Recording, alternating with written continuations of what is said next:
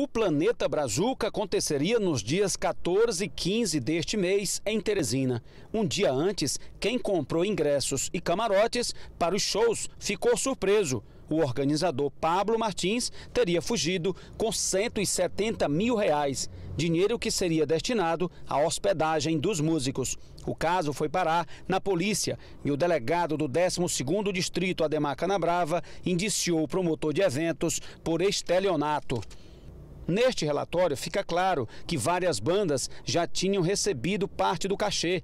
Gabriel Pensador, 15 mil. Detonautas, 57.245 reais. O Raimundos, 10 mil reais e o ponto de equilíbrio 10.500.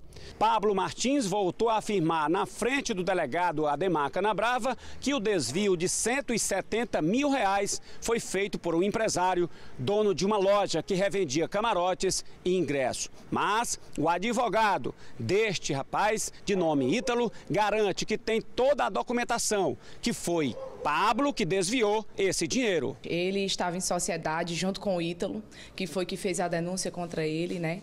E eles vão responder sim, e o meu cliente vai provar que ele não tem culpa nessa situação toda, até porque ele ficava com a parte administrativa de negociar com as bandas, da contratação.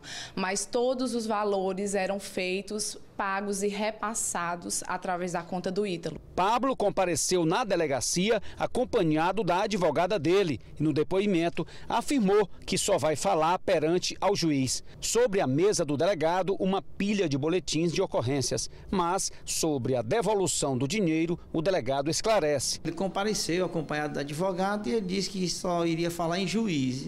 O direito que assiste a ele. É, independente disso, ele vai ser indiciado por estelionato ele diz que realmente apenas era o, é, é, trabalhar na parte administrativa e que o dinheiro ficaria com o Ítalo. Uhum. Mas o Ítalo tem todos os comprovantes que repassava o dinheiro para ele, as transferências, o que era pago. Então eu acredito que realmente o Paulo esteja na responsabilidade do dinheiro. O senhor já somou aí, viu os depósitos que eles inclusive fizeram né, para as bandas, muitas bandas né, conhecidas. chegou a quanto esse montante? Eles arrecadaram quanto do comércio? dessas pessoas, das vítimas? Aí tem um, duas bandas que foram pagas total, né? Quer dizer, para completar, completar o restante da banda, faltava pouco, me parece em torno de 180 mil reais, o show seria feito. Mas infelizmente acho que eles desviaram esse valor, que é o, é o montante que o advogado do Ito disse que foi desviado, que não deu para pagar a banda, nem hospedagem, nem hotel, da, aliás, as passagens da, da, do, das bandas. Por isso que quebrou o contrato mas dá em torno de 170 mil reais o que tá, foi desviado.